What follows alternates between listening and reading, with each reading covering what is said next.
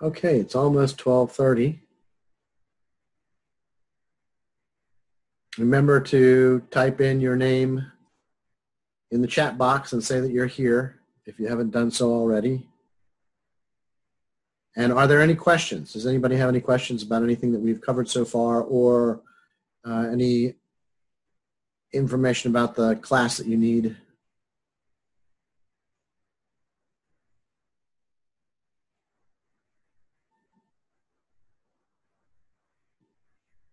Okay. I don't know if you all realize it or not, but we will not be here next Tuesday. Monday and Tuesday next week, the school is closed down and the majority of classes are not being taught. You need to contact your professors, but most classes are not going to uh, occur this coming Monday and Tuesday. It is a teacher's training day, those two days. So we will meet again next Thursday rather than on Tuesday coming up.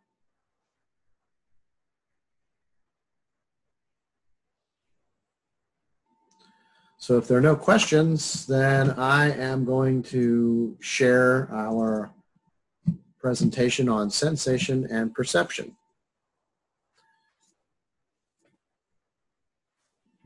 So this unit, we've already talked a lot about sensation. We've talked about perception.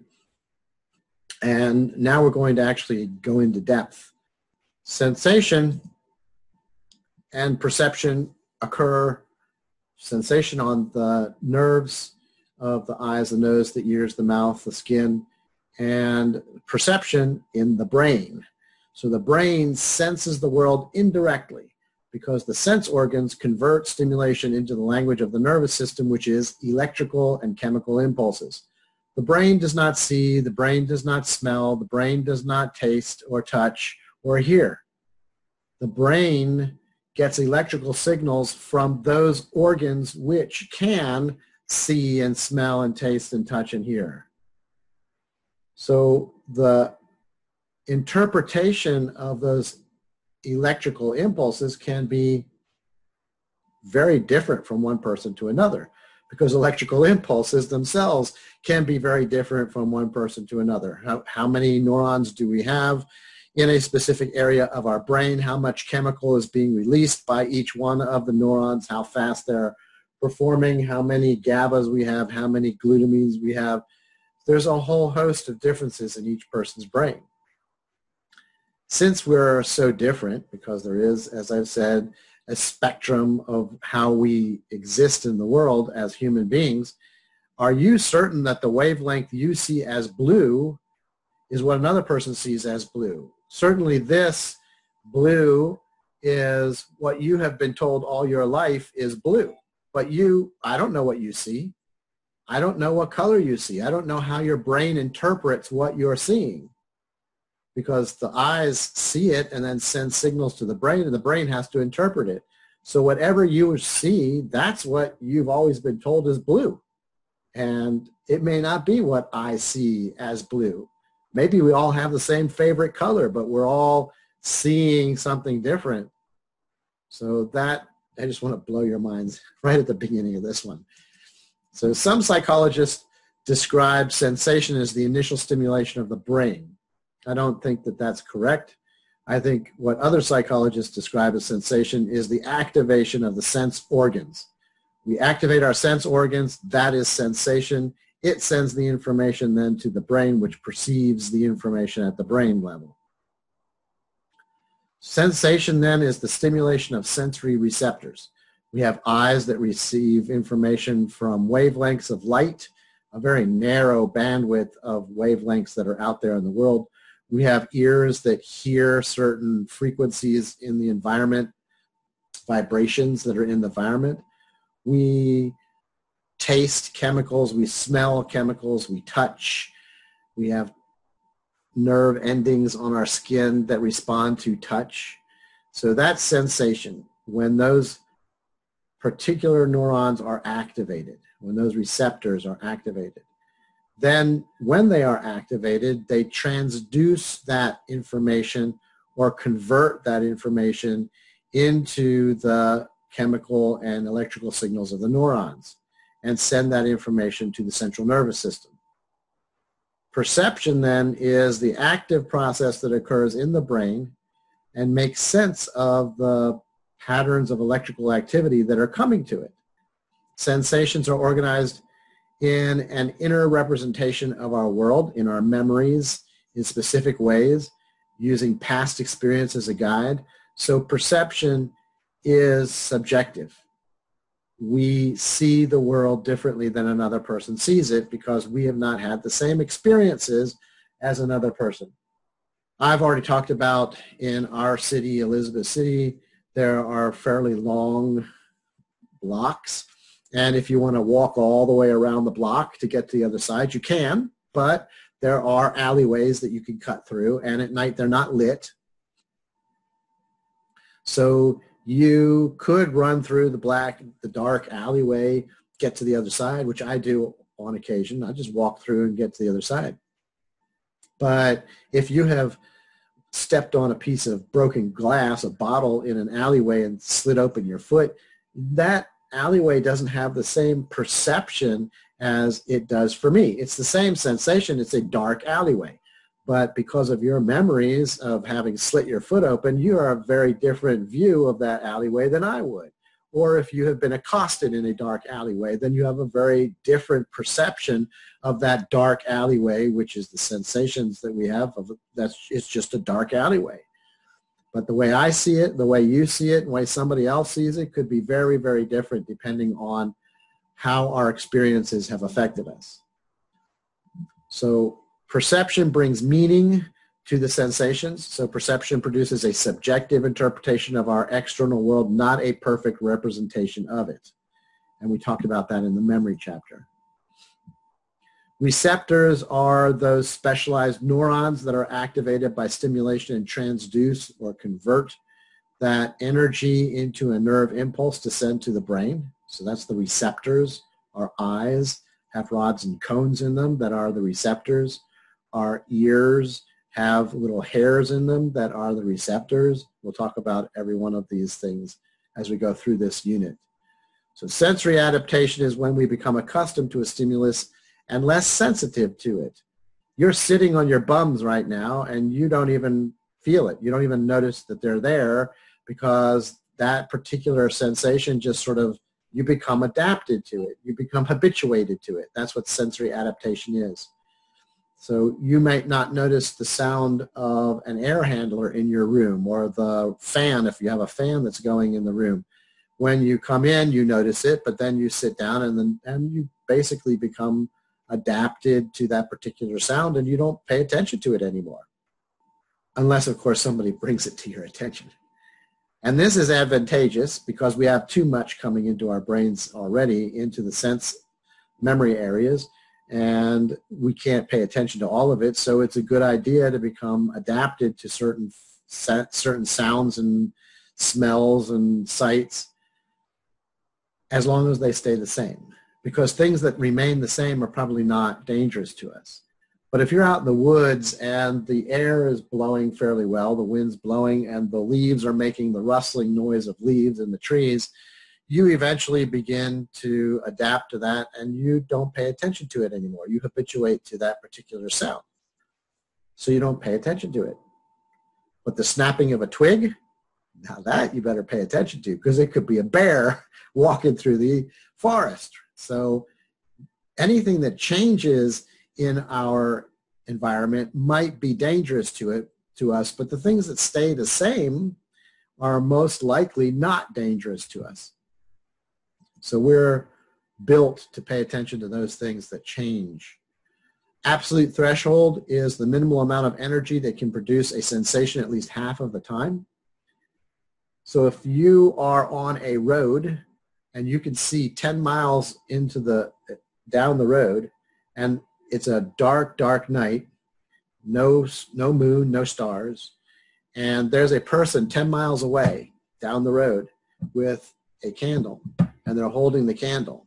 And they have their hand in front of it so the, the light doesn't come to you. They take their hand away and they put their hand back again. Take their hand away put their hand back again. And they do it, say, 30 times.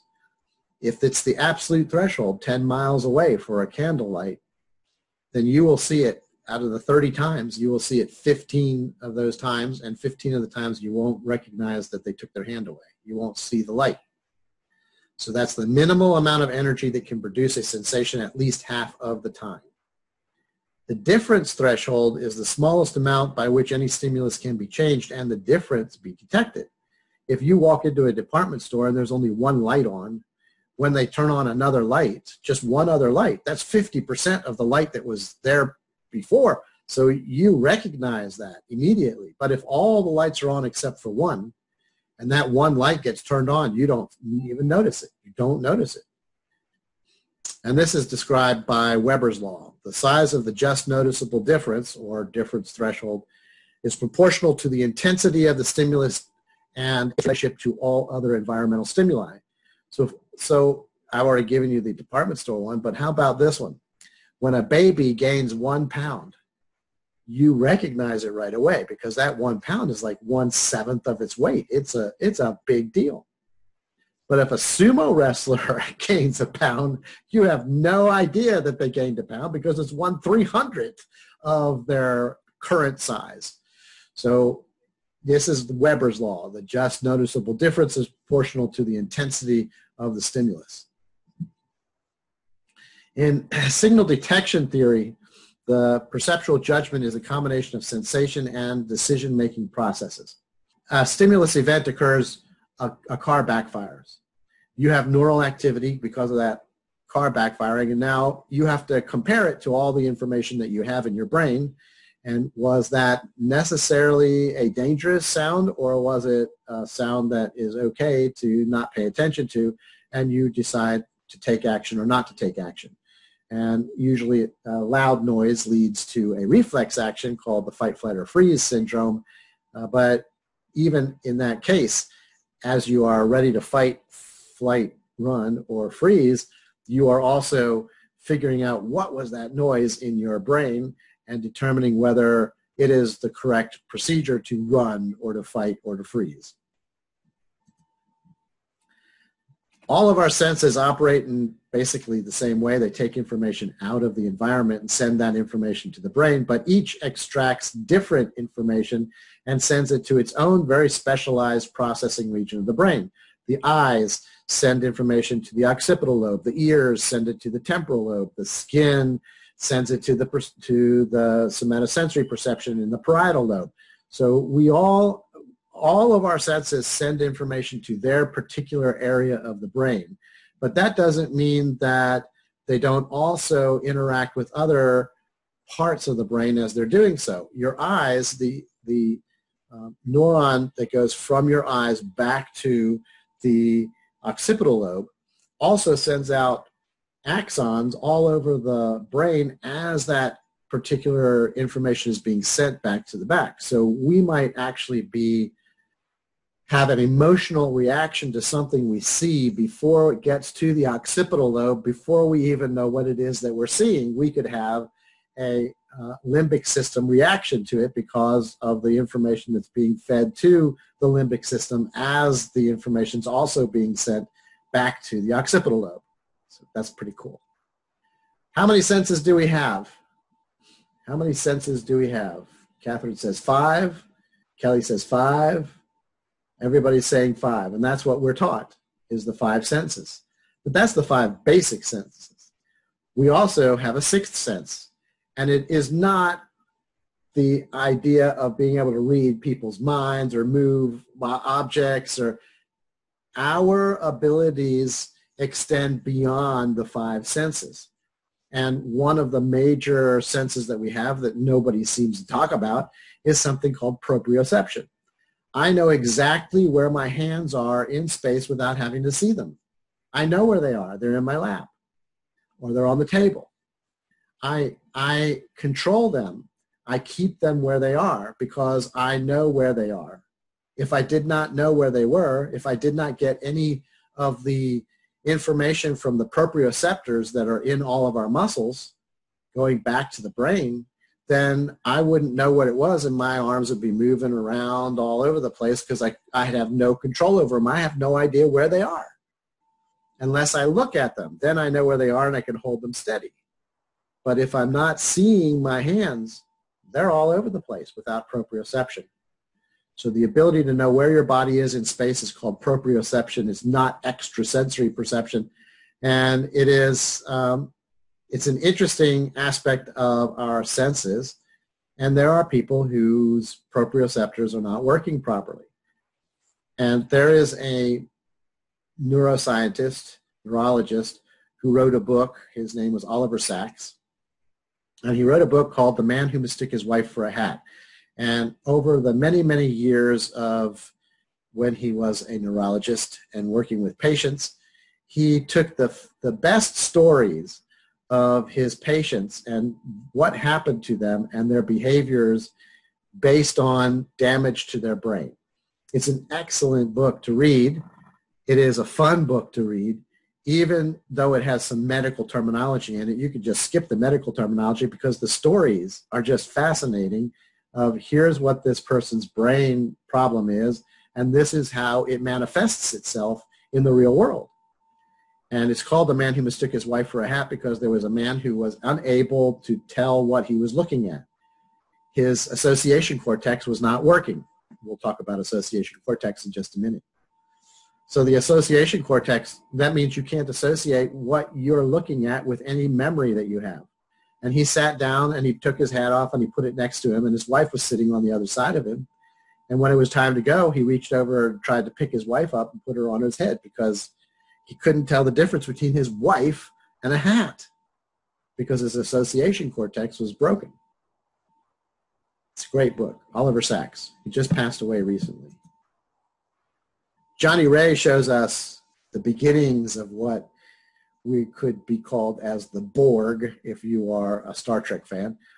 We enhance our eyes with eyeglasses when we can't see well. We enhance our ears with hearing aids when we can't hear well.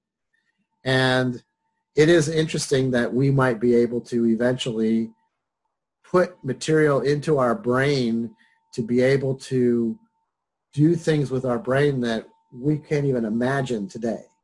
Johnny Ray was the first. He was a 53-year-old paralyzed stroke victim. His, his, his spinal cord was broken, so all the signals from his brain were just disappearing. They couldn't get to his body. He could not speak. From his, from his cheeks down, he was, he was paralyzed.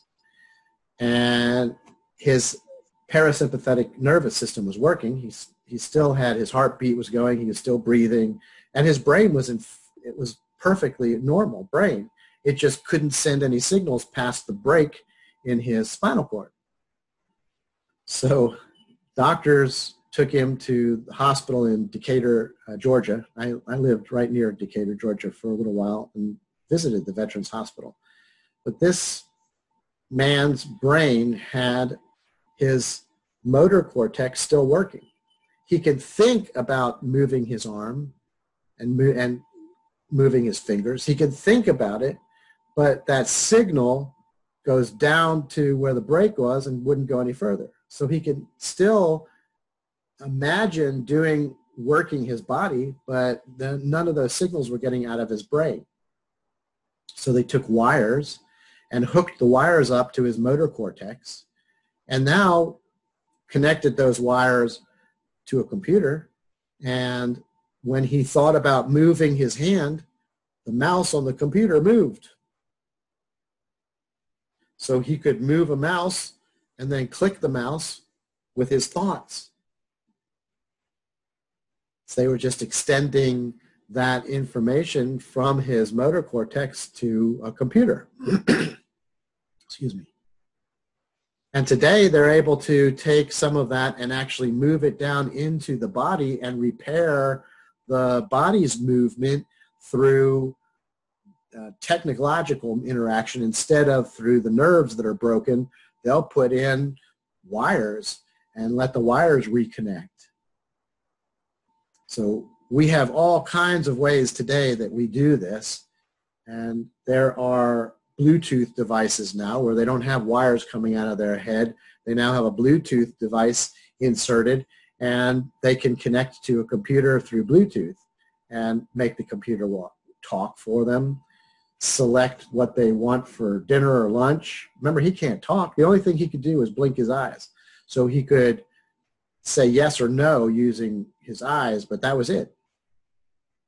Now, if he'd known Morse code, maybe he could have done, you know, his left eye for dots and his right eye for dashes. And you, but then the doctors and nurses would have had to know how to read Morse code too. So, but he was able to reconnect with his world through this device. Does that sound cool? I'm Seeing yeses. And today they just they're they're going way beyond what they did. Now they one of the doctors who lost his funding decided that he would actually work on it himself.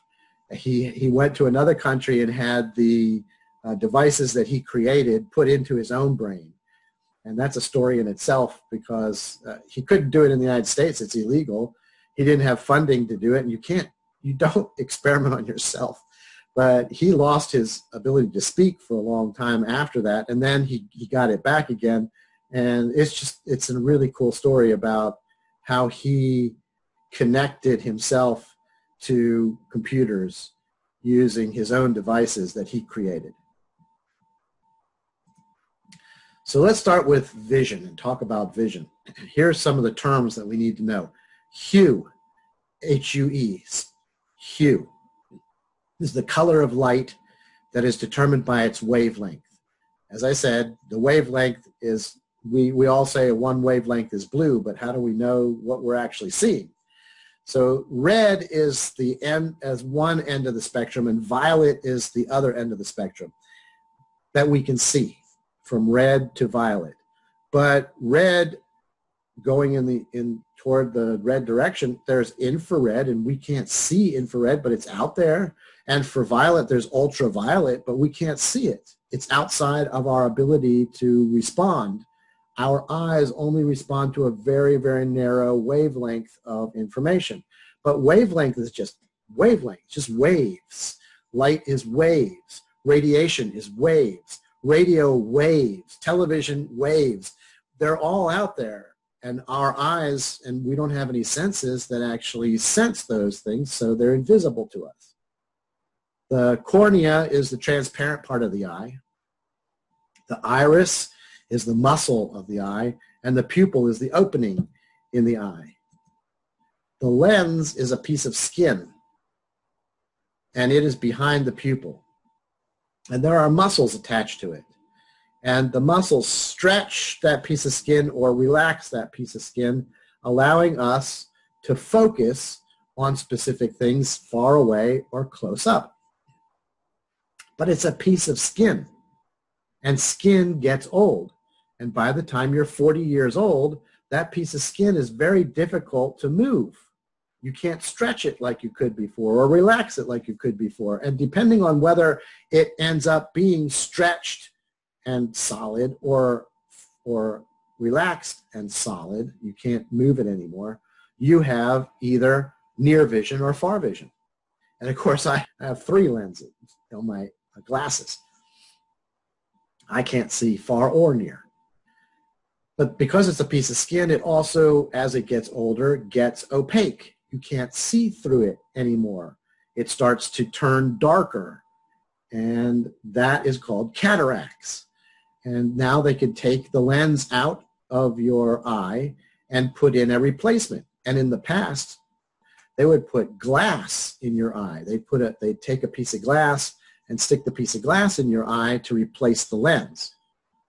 And that piece of glass was specifically designed for a long distance or a short distance, then you had to wear glasses for the other side. Today, they put in plastic as a lens. You can see through plastic. But they're at the point where they're developing a see-through rubber that is stretchable. And so they can reconnect the muscles to this new type of lens and supposedly you will be able to learn again to see and focus long distance or short distance and you won't need glasses anymore for either one of them. Now I'm just, I'm 63 years old and I'm just starting to have trouble now with my cataracts. So I'm hoping that they will have developed this product really well before I have to have the cataract surgery and get lens replacement because I would love to have that and never have my glasses again. That would be terrific.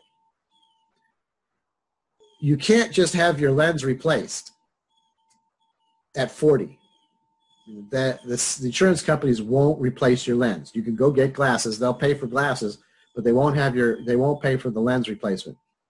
When you can't see through your lens anymore because of cataracts, then the insurance company will pay for a new lens and hopefully this new version of a lens when it finally comes out. The retina is the area of the inner surface containing rods and cones. The rods and cones react to light. So the retina is that area in the back that has rods and cones on it. But there's a piece, a place in the retina that has no rods and cones because the optic nerve goes out of the eye in that particular area. There's no rods and cones in that area. It's a blind spot. It's a dead spot. You can't see in that area. But the left eye can see what the right eye can't see, and the right eye can see what the left eye can't see. So the brain fills it all in and you don't see that there are blind spots. In fact, they're horrible. Our, our sight is actually terrible because we have all kinds of floaters in our eyes and we have blood vessels that are going through and obscuring our vision in certain areas. We don't see very well, but our brain makes a nice, smooth, beautiful view of the world for us. So these photoreceptors are the rods and cones and they respond to light. The ganglion cells that come from the rods and cones form the optic nerve. The optic nerve is the nerve that transmits optical sensory information to the brain, to the back of the brain, the occipital lobe. The fovea is, there's a dead spot where you can't see anything because there's, there are no rods or cones in that area. But the fovea is a place where there's a great deal of cones, the largest percentage of cones in this particular area of your eye. It's not all over the eye e equally. There's one spot in your eye where it's much better, and it's not in the center. it's off to the side. In both eyes, it's off to the side.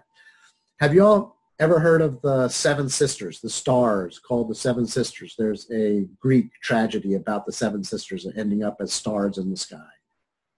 Anybody heard of them? Ah, there, there some of you have.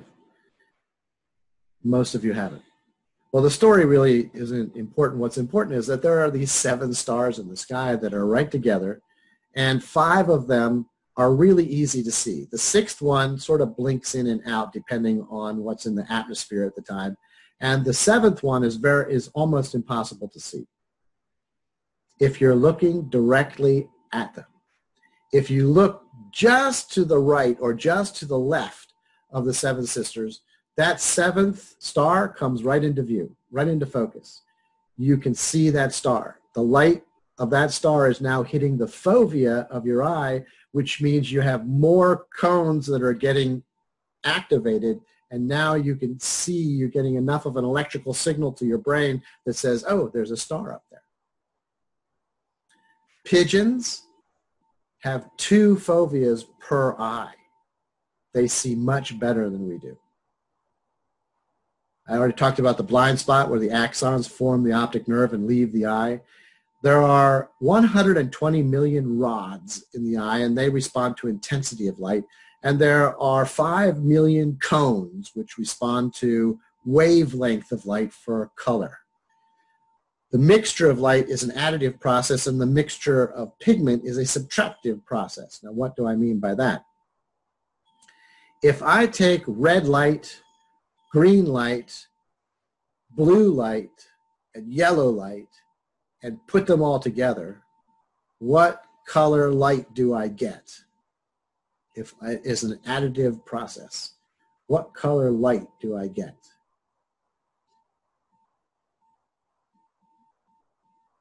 adding red, green, blue, and yellow light together. What do I get?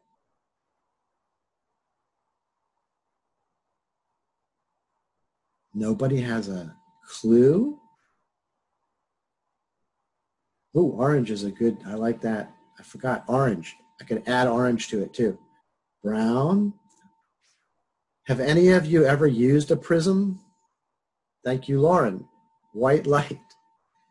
Take a prism, shine white light into it, and it breaks it into a rainbow because white light is made from all of those colors.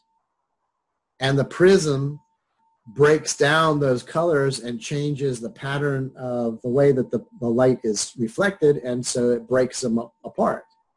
So all light coming together creates white light. And that's why it's called an additive process. It is white instead of dark. You can't see anything. Pigment is a completely different type of structure. When you take blue and, and color paint blue on something, the paint is absorbing, subtracting all of the colors except for blue. Blue is being reflected, and that's why we see the blue, because all the other colors are being subtracted or, or being absorbed by that particular paint. If you take blue paint, green paint, and red paint, and all the other colors of paint, so that it absorbs everything, the only color you get back is black, no color. And that's why it's called a subtractive process. So that's the difference between light and pigment. The electromagnetic spectrum is the entire range of electromagnetic energy, including radio waves, X-rays, television waves, microwaves, and this little tiny little space called visible light. The visible spectrum is a tiny part of the electromagnetic spectrum to which our eyes are sensitive because the cones and the rods respond to those particular wavelengths. We don't have any that respond to anything outside of the ultraviolet area or the infrared area. But bees, bumblebees, see ultraviolet. They see colors that we don't see. They see wavelengths that we don't see. Why? Why would they have any need to see anything like that? It turns out flowers with pollen have a visible to the bee ultraviolet flare-up. So they are attracted to the flowers that have the pollen because they are showing ultraviolet waves and they're attracted to those ultraviolet waves. But we can't see those. We just see the visible light that the, that the particular flower is producing. How many of you have walked somewhere and you tripped on nothing? It was just like, what? I just tripped over my own feet. There's nothing there. I just tripped for no reason. What if it's like there are animals that are walking around the earth that only reflect ultraviolet? We would not be able to see them. There's nothing like that. we know there's nothing like that because we can make devices that see and respond to ultraviolet and all the other kinds of, of wavelengths that are out there. So there is no such thing as little creatures running around that you trip over that you can't see. Also, women tend to be able to see wavelengths that men cannot see. So there is something on the X chromosome that helps women to see specific colors that men just don't see. Now, there's very few women like this. This is a spectrum again, remember. But there are those women whose genes just came together right, and they can stand outside of a garden and they can and they can point to each one of the tomatoes that is ready to be picked or it's going to go bad because they're showing a different color but all I see is orange and red that's all I see in and but the red ones are ready to be picked right not necessarily, but they're also not going to go bad tomorrow. But these women are so good, they can actually tell you which ones will be rotten tomorrow if you don't pick them today. And only women have this ability. Men don't have it. So brightness is the sensation caused by the intensity of light waves. Intensity is the amplitude of a particular thing, and you're looking at, and when you're in a department store and all the lights are on, it's very bright, and when half the lights are on, Walmart likes to do this for some reason. They turn half their lights off, then turn half the lights on, and I, don't, I guess maybe they're trying to save the bulbs, but uh, the, you can see the difference in the intensity as the as they change the number of light bulbs that are on, and they stimulate the rods, and that is what we determine as brightness. We see as brightness. Color blindness is not being able to see specific colors. I put down here a picture of a circle that has red or brown and green in that picture. If you cannot see the red and the green, you might want to talk to somebody, but also realize that this particular picture is a copy of a copy of a copy, and so it's not really the best example, but you should be able to see that there are at least brown and red and green. Right? So some people see the red as brown, some people see it as red, but there's definitely a green also, a different color. Can everybody see the other color? Is there anybody that can't see the other color?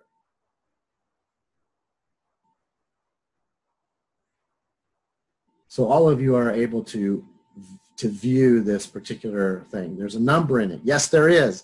The question is, can you tell the color? Can you tell from the colors what number it is? There's a 1, and it's either a 15 or a 17 or maybe a 13. I can't really tell what I see, uh, but at least I know I've seen two different colors. Uh, most of you are saying 17.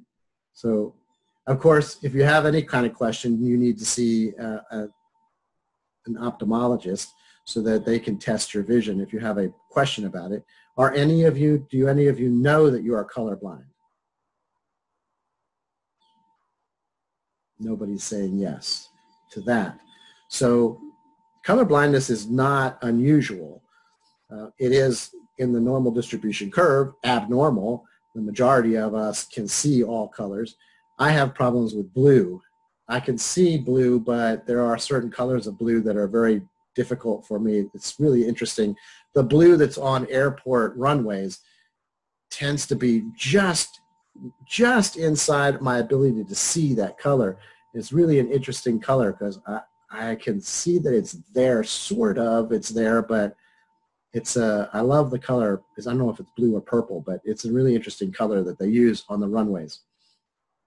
So color blindness is a vision disorder that prevents an individual from discriminating certain colors, and the majority of colorblind people are red-green colorblind. They cannot see the difference between red and green. And that's why I picked this particular picture to show you, because most all of you could see the two different colors in there. But the interesting thing about uh, about color blindness, red-green color blindness, is the majority of red-green color blindness is caused by red cones. The red cones are too active and they stay active all the time. If the red and green are supposed to be normally the same amount level of energy, but in people with red-green color blindness, the red is way more active and so the green is suppressed mostly and you can't see the difference between those colors. And we can give them glasses that block out all the red light and then the there's not any red coming to these particular these cones. And so the amount of their activity decreases and then all of a sudden boom they can see colors. And you can go to facebook and look up these they're like $300 for a pair. I want to buy one just to have for my students that are colorblind so they can see what what it's like. But this is, and you'll see people crying because all of a sudden they're seeing colors they've never seen before. The interesting thing is I wonder if they're seeing the same colors that we're seeing with red taken out of the spectrum basically. So if you can't see the number inside the circle, don't worry. The slide is not a great example of the colors. So if you want to know for sure, go to a vision expert. In any case, some people's cones do not respond properly to wavelengths and, it, and if you can see all the colors, then you are called trichromatic because it's red, blue, and green are the actual colors that we see, red, blue, and green, and then we have a combination of red, blue, and green that cause us to see all the other co colors. There are people who cannot see any color at all. There was an artist, not very famous artist. He was he, he drew in colors. And then he lost he lost his ability to see color. He only sees black, white, and grays. That's all he sees. And so his his pictures, his his paintings are now black, white, and grays, and he's become famous because of that. But there are people who just don't see any color at all.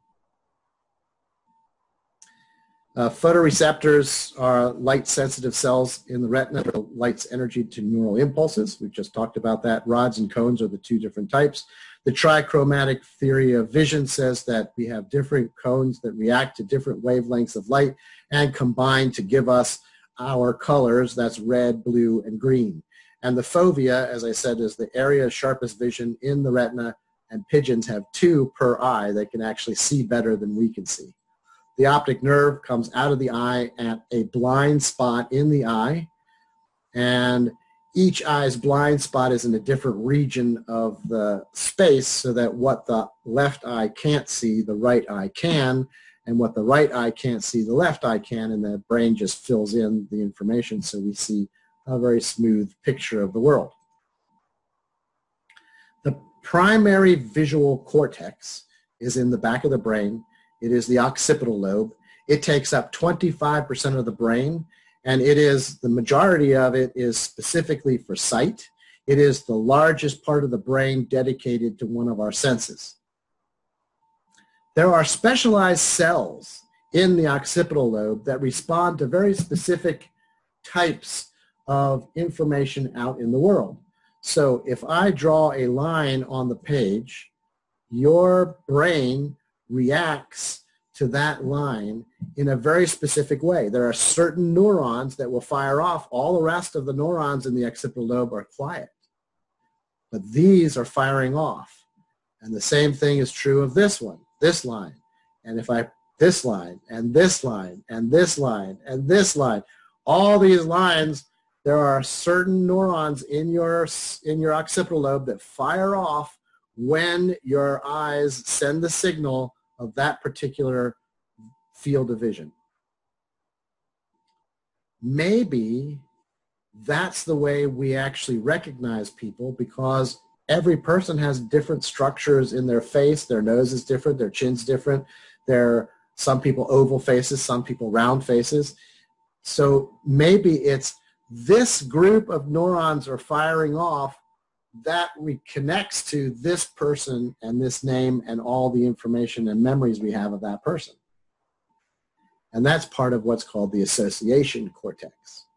The association cortex, although all these specialized cells are responding, without the association cortex, we would not know what all those cells responding meant.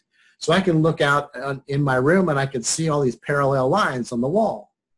There's four parallel lines, two of them parallel down, another parallel this way. My brain says that's a door. I have an association cortex that takes that information and says that's a door, not a window. And there are people whose association cortex is not working. They cannot associate the man who mistook his wife for a hat. They cannot associate what they see with anything that they know, their memories. They can't connect them together.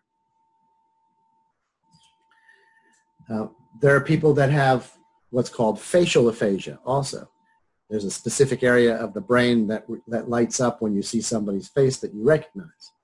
And some people have facial aphasia. That part of the brain does not work.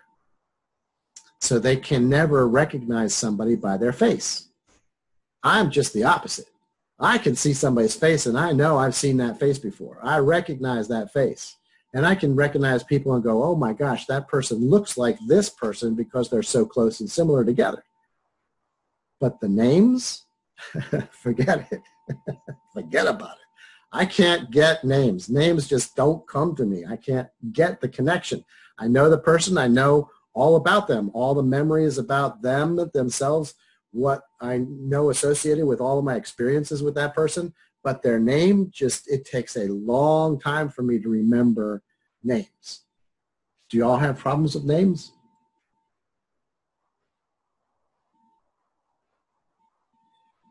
Are you all still there? Okay.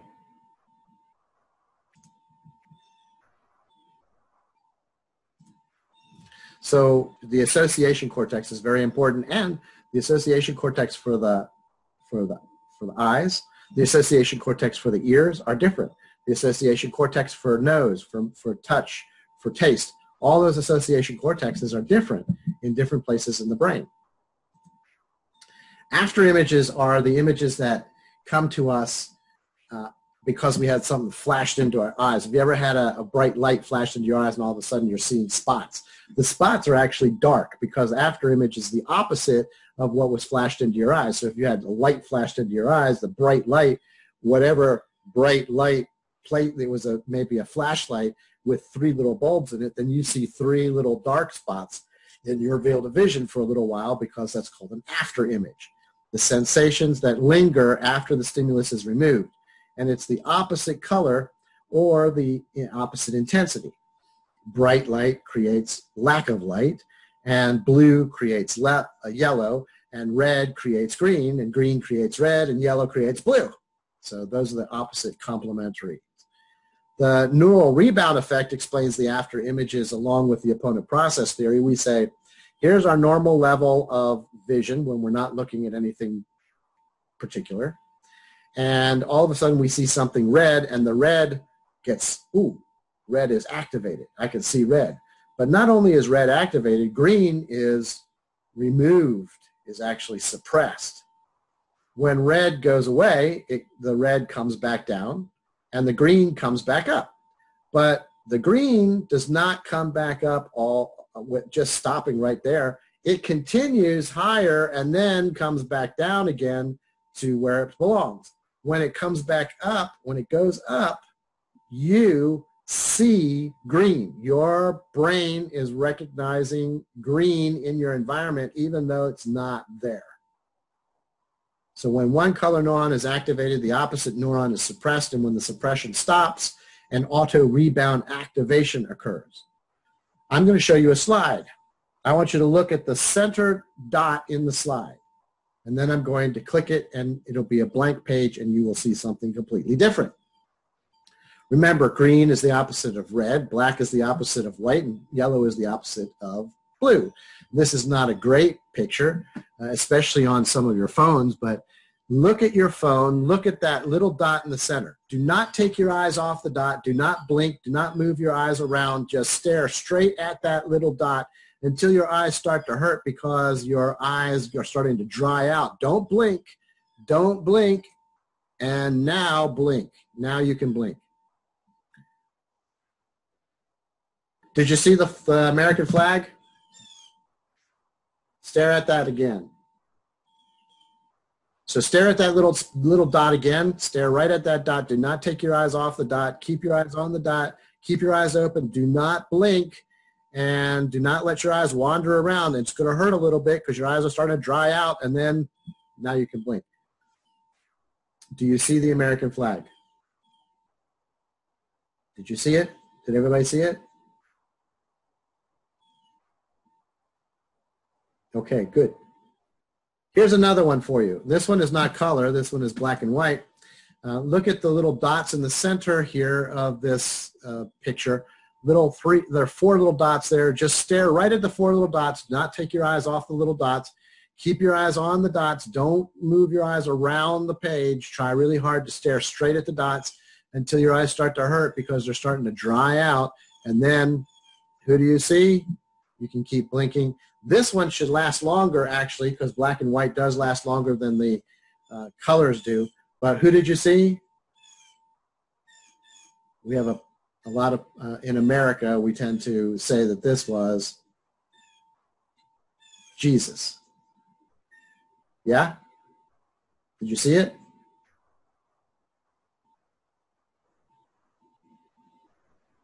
Okay. Here's another one, black and white again. Um, and you'll recognize this right away, even though we haven't seen the actual picture yet. But this, these are negatives. This is what a negative looked like when we did uh, print pictures with paper. We had negatives. This is what a negative is. So stare right at the little uh, plus sign, the red plus sign. Stare at the plus sign. Don't take your eyes off the plus sign. Keep staring right at the plus sign until your eyes start to hurt. Don't blink. Don't let your eyes wander around. And then, boom. Who do we have? President Obama. Right? Is that cool? This is after images. This is what after images are. Now this one, this next one is a is people say tell me who it is, but I have no idea. You can make tell me who it is, but um, stare at this picture. This is a real negative. This is an this is what a negative really looked like. If you have pictures and you have the negatives, look at the negatives. Um, there are not very many left in the world. Most people have gone to digital. But look at a negative, and the negative looked just like this. This is what a negative looked like. Look at the little dot on her nose. Just keep staring at the dot on this lady's nose. Keep staring at the dot. Do not take your eyes off the dot. And then I will click. And does anybody recognize that person when they saw the actual image? Are you all tired today? You're not responding.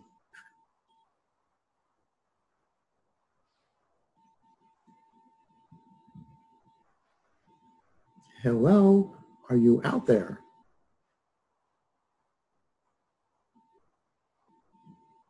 I'll do it again.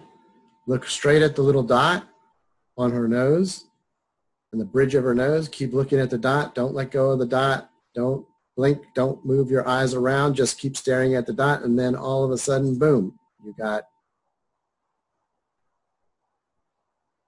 no, no clues. Yeah. all right. Next, follow this little dot around and around and around and around and around. It's a pink little dot. And now, instead of going around and around and around, look at the center and just stare at the center for a little bit. And that little pink dot will turn green. Did it happen for you guys? Did you get the green dot? Now, because it's flashing and it's not it's not great because it's it's flashing for some reason. I got to fix that. But if it wasn't flashing and you just kept staring at that uh, that cross in the center, the dots disappear. They all just disappear, and the only one that's that's active is the green dot going around and around in a circle. You don't even see the others anymore, which is pretty cool. This one is a JPEG file. JPEGs do not move but it looks like there's a movement somewhere in it and then you look to see where the movement is but it's not moving anymore and then somewhere else starts to move this is a jpeg file no movement it's not like a gif here's an illusion uh, a visual distortion or a visual perception distortion let me take these steps and go down okay i'm going to start from here and I'm going to go down. So I go down one, two, down three, down four, down five, more down, down, down, down, down, down, again, down, down, down, down, down. And I ended up right back where I was, which is impossible because you can't just keep going down and end up at the same spot you were. There's something wrong. And artists love to do this. This is what artists do best. They understand the illusions and they can put them into your, their paintings and their drawings and make it look like, wait, there's, wait, there's something wrong here. The best I've ever seen is a painter called Escher. And this is Escher's Waterfall. If I would love to have this house because if you have a wheel, a water wheel, you can create your own electricity. I would I spend $300 a month on the electricity on this house. $300 a month for electricity I could save if I had a water wheel like that and produce my own electricity. But no one has a water wheel like that because the water comes down and then goes up the channel, up the channel to come back down again. Water does not go against gravity. You cannot have this happen. This is impossible. you get that? This is not possible. And if you look at this little pylon right here, there's obviously something wrong because this these two right here should not be one underneath the other. Also in this picture, and Escher's great for this, is like, wait, there's something wrong there, but then there's something wrong all over the picture. These particular plants are plants that live at the bottom of the ocean. So this whole place, the waterfall, everything is underwater, and this girl over here, this lady is, is hanging up her clothes, is hanging them up underwater. yes, absolutely, Xander. Absolutely. Your head starts to hurt when you're starting to try to figure out what's wrong with this picture. Imagine having drawn it. this class, this is an ambiguous picture. I happen to like margaritas, so I see a, the first thing I see is a margarita glass. That's the very first thing I see.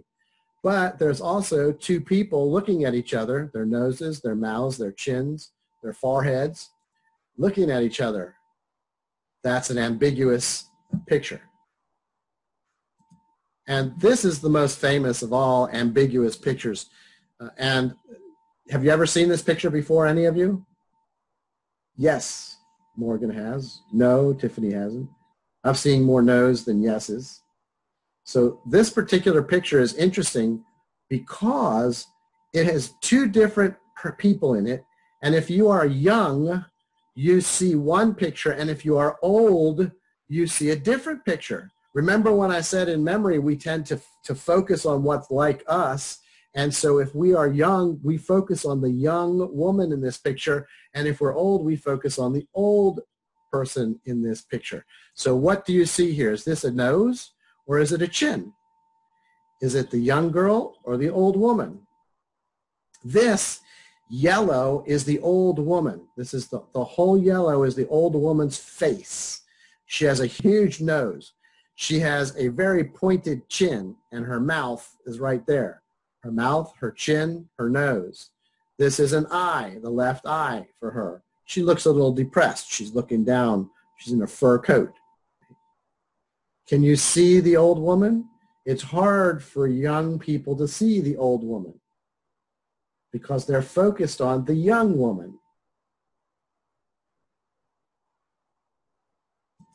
This is the young woman's face. She's looking off to her right. She's looking off to her right.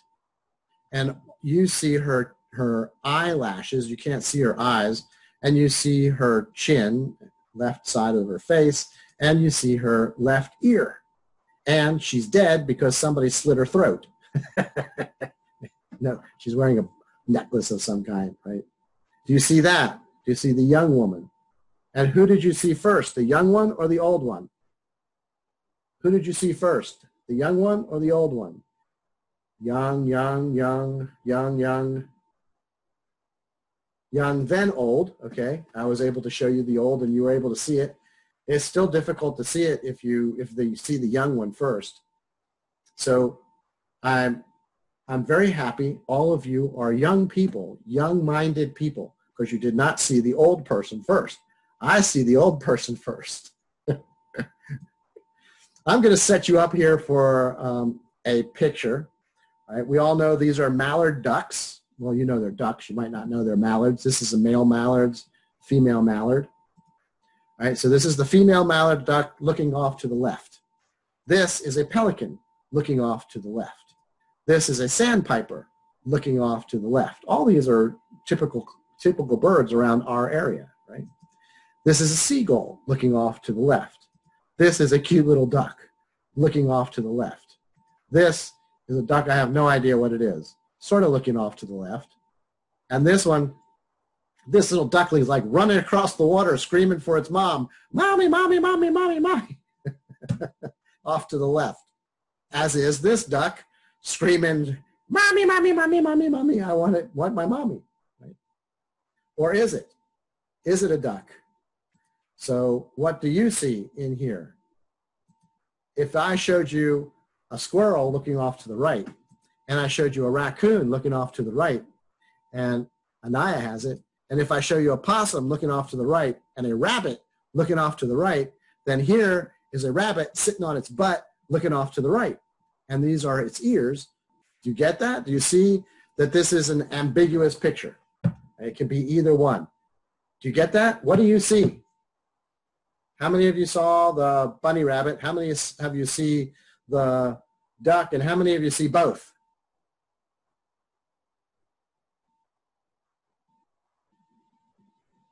So lots of you are seeing both, and the duck and the bunny. You're, you're not seeing a duck or a bunny. I'm sorry, people. You're seeing gray picture, gray, black, and white picture drawn on a piece of paper. You're not seeing a duck or a rabbit. Your brain is creating all of that. All you're seeing is a picture of a gray thing with a black thing on it and uh, a whole bunch of white around it. You get that? You get that? You are making up a duck or a bunny out of this design. There are two different ways to approach certain problems in life, bottom-up processing and top-down processing. How many of you like uh, jigsaw puzzles? Uh, do any of you like jigsaw puzzles? Some of you do like jigsaw puzzles. If you don't like a jigsaw puzzle, say no. I don't see anybody that's saying, oh, there's one. I hate jigsaw puzzles. I absolutely despise them. But my little girl likes to play jigsaw puzzles, so I'll play with her sometimes with the jigsaw puzzles.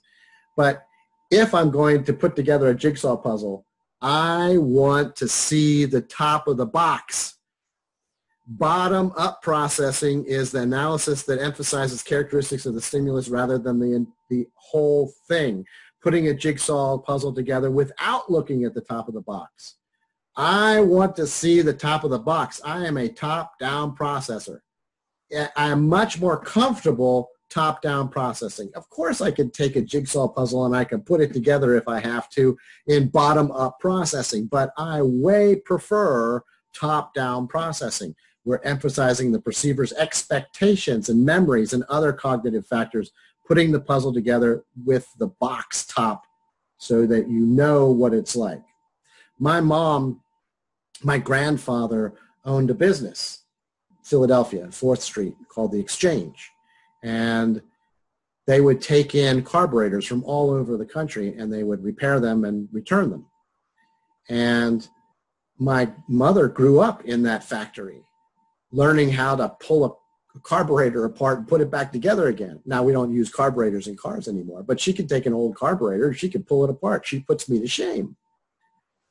She watched it being done as a kid and she can do it really well.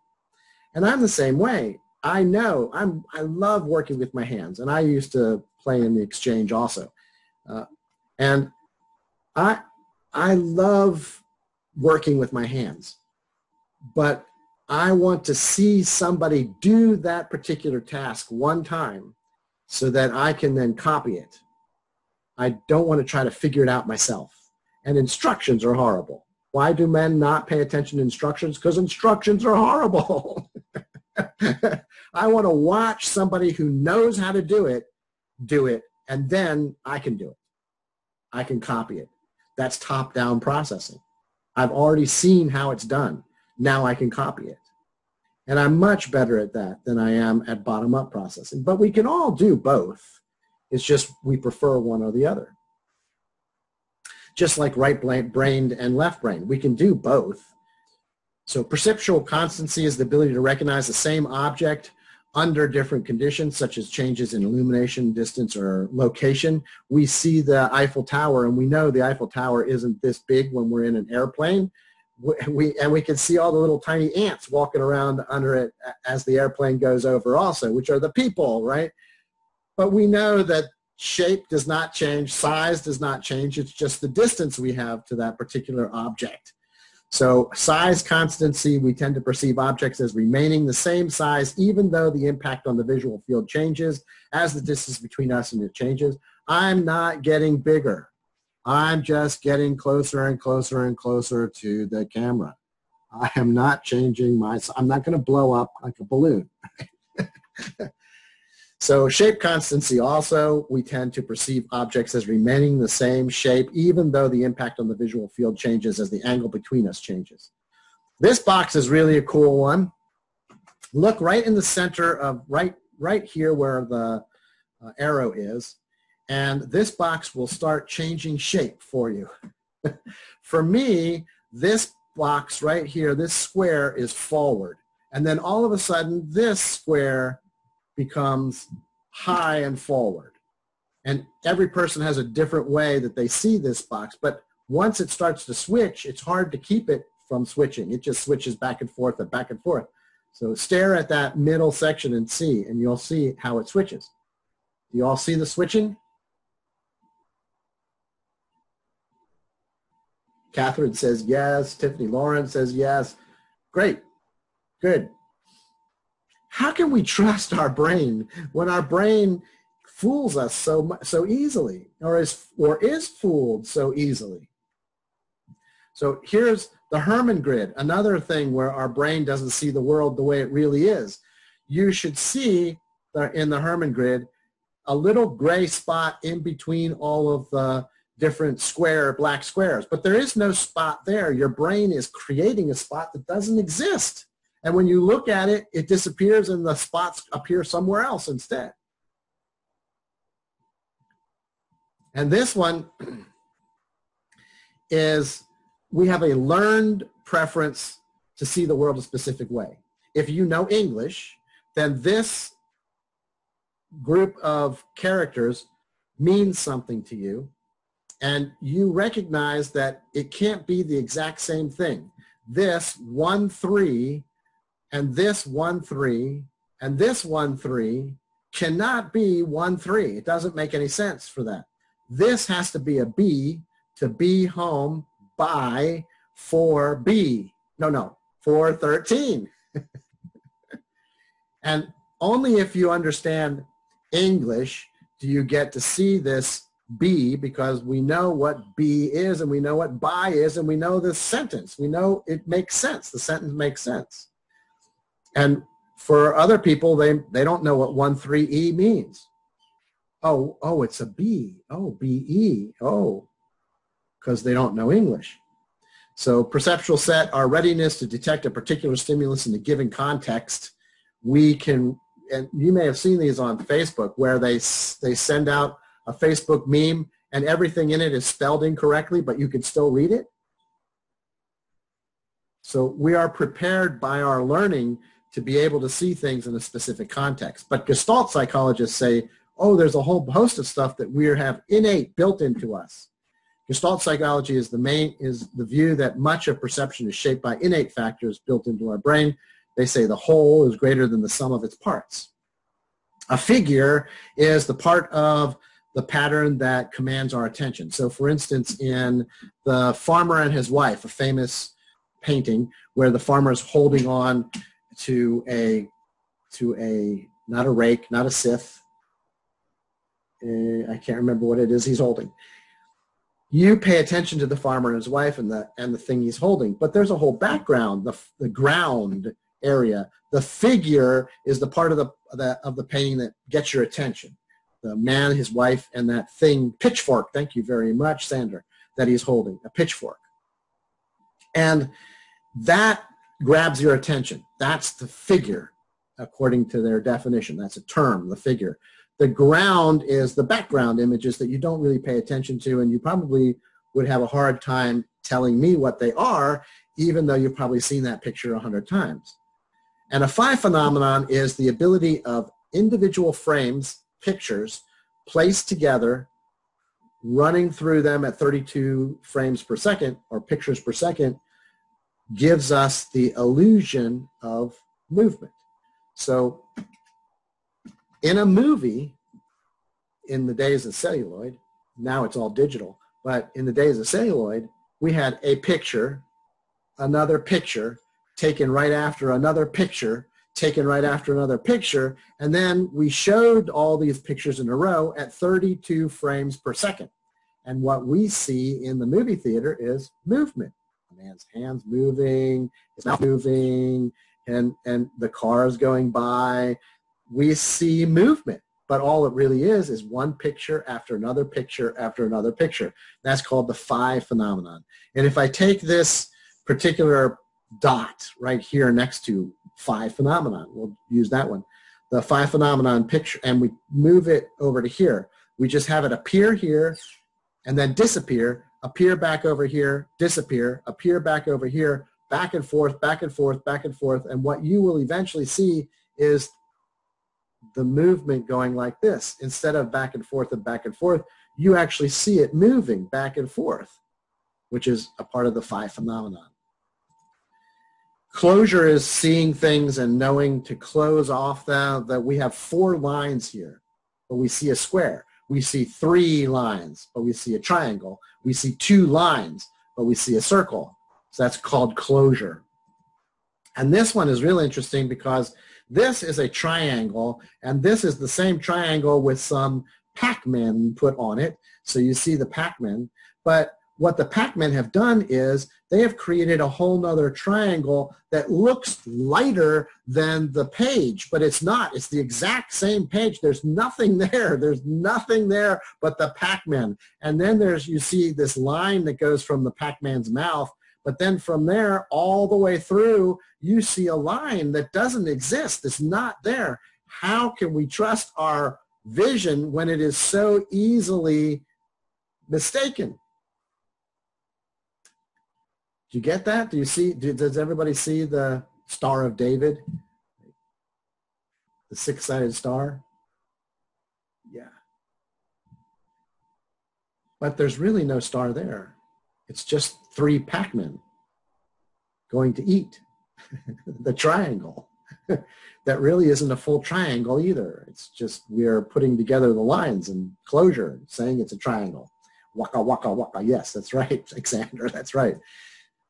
Uh, this is where I stopped in the last class, so I'm going to stop here also with this class.